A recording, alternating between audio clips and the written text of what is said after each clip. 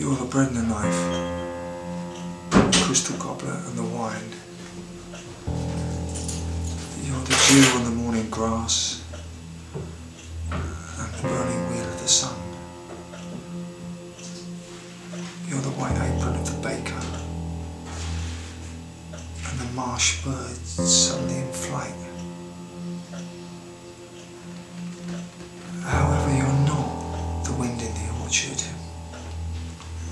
Plums on the counter, or the house of cards. And you're certainly not the pine scented air. There's no way you're the pine scented air. It's possible that you're the fish under the bridge. Maybe even the pigeon on the general's head. But you're not even close to being the field of cornflowers at dusk.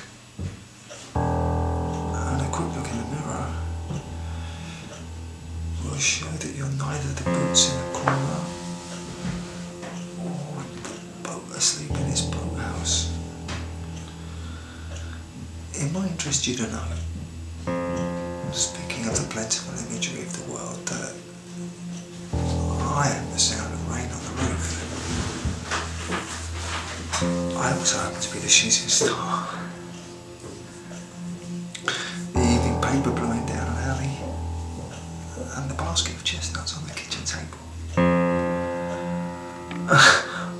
I'm also the moon in the trees, and the blind woman's teacup. But don't worry, I'm not the bread and the knife. You're still the bread and the knife. Not to mention the crystal goblet.